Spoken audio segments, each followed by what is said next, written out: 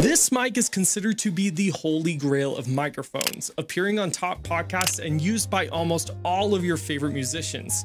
But why? Let's start in 1966 when Shure is developing a new microphone perfect for radio and TV shows. But there was one small or big problem. This mic was enormous, so Shure had to go back to the drawing board, and some years later they came out with this the Shure SM7. It was smaller, lighter, and practically better in every way. But honestly, it wasn't very popular until it was featured on Michael Jackson's Thriller album in 1982. After that, sales went nuts. Everyone wanted to record like Michael Jackson. And in the modern day, it's continued to withstand the test of time and become one of the most famous mics ever.